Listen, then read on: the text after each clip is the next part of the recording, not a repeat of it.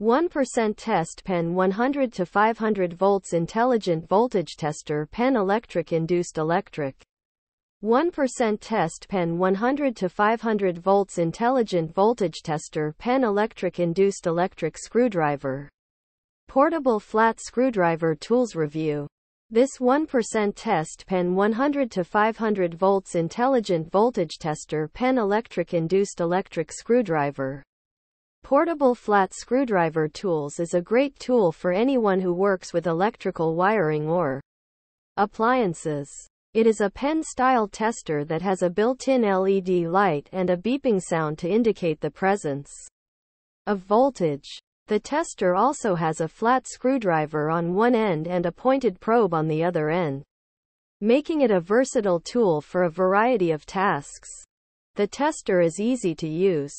Simply turn it on and touch the probe to the wire or appliance you want to test the LED light will light up and the beeping sound will sound if there is voltage present. The tester has a range of 100 to 500 volts. So it is suitable for testing a wide variety of electrical devices.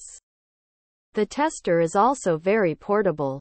It is small and lightweight, making it easy to take with you wherever you go.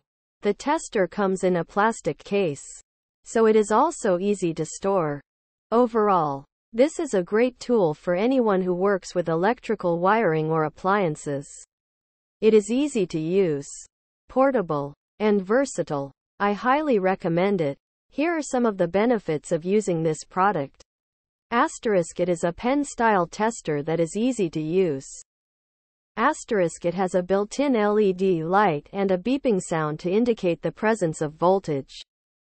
Asterisk it has a flat screwdriver on one end and a pointed probe on the other end, making it a versatile tool for a variety of tasks. Asterisk it is safe to use. Asterisk it is affordable.